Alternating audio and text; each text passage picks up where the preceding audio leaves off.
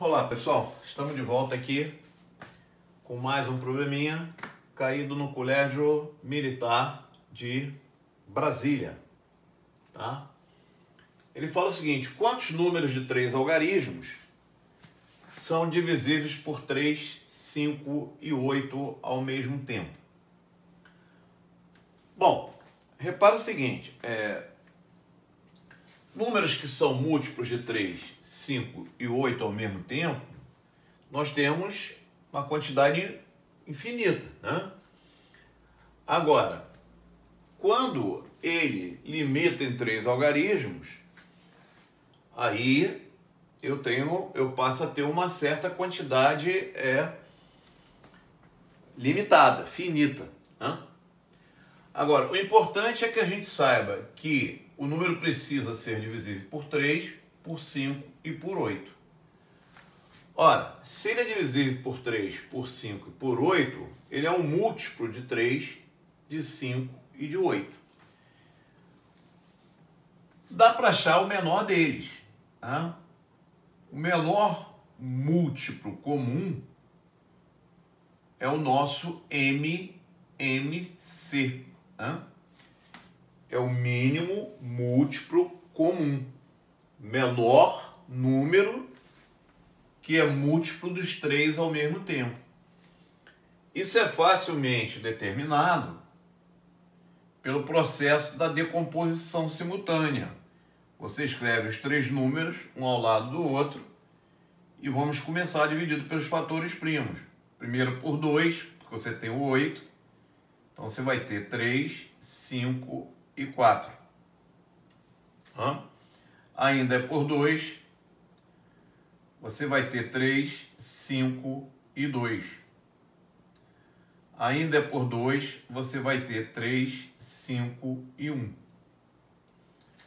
Como agora não é mais por 2, eu passo para o próximo número primo, que é o 3, próximo fator primo.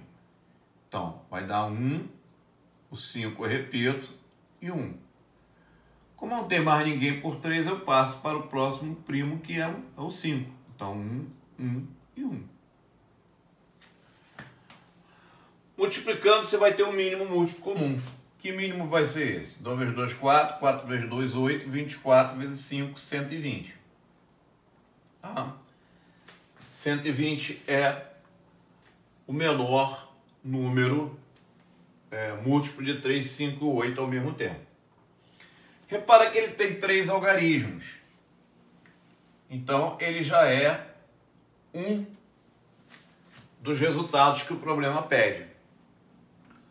Ora, à medida que você for multiplicando esse mínimo por pela sequência dos números naturais, você vai obtendo novos números que atendem a essa condição do problema.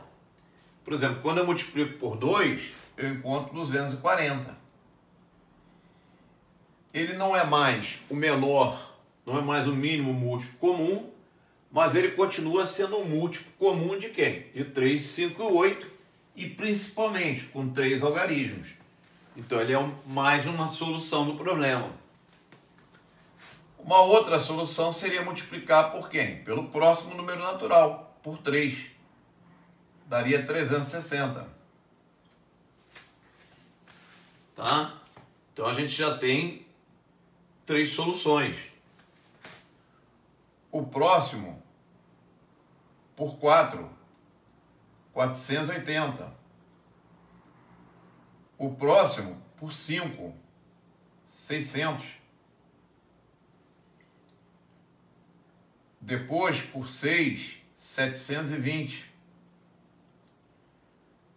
Por 7, você vai ter 840. Tá? Repara que sempre aumenta em 120, né? Você está aumentando uma unidade aqui, então passa a ter 120 unidades a mais no produto. 120 vezes 8 você vai ter 960, mais uma.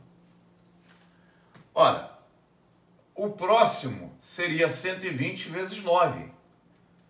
Mas aí eu vou ter 1080. Eu já vou ter números de 4 o quê? 4 algarismos. Então isso não me interessa mais. Não atende o problema, porque o problema fala em números de quantos algarismos? De 3 algarismos.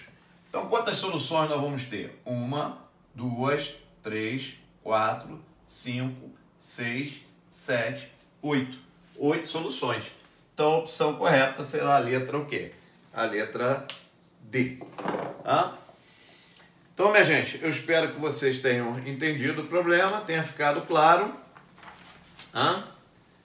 E dê aquela força pra gente lá no YouTube, no canal Intermate. Bom, um grande abraço, até a próxima.